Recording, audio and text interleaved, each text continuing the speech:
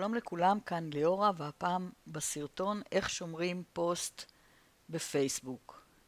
כמו שאתם רואים, אה, המחשב שלי פתוח עם הפייסבוק וגם הסמארטפון אה, פתוח עם הפייסבוק, ומצאתי כאן איזשהו פוסט מעניין, אבל אין לי כרגע זמן לקרוא אותו, או שהוא מעניין בשביל שאני ארצה לחזור אליו, ולכן אני אה, רוצה לשמור אותו.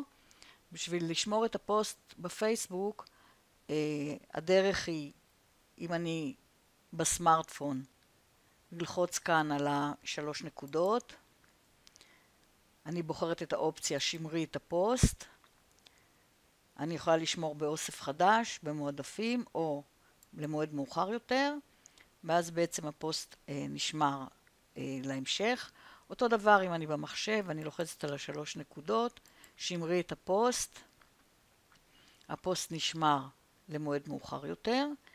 כדי להגיע לפוסט עצמו, אם אני בסמארטפון, לפייסבוק, לוחצת על שלושת הקווים, על התפריט, וגוללת עד האופציה של שמורים, ואז אני רואה את הפוסטים השמורים.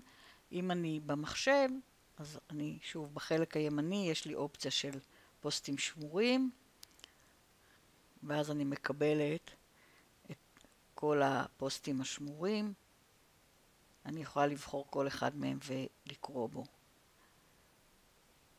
כדי לבטל את השמירה, אני לוחצת על שלושת הנקודות ולוחצת על ביטול שמירה ואישור.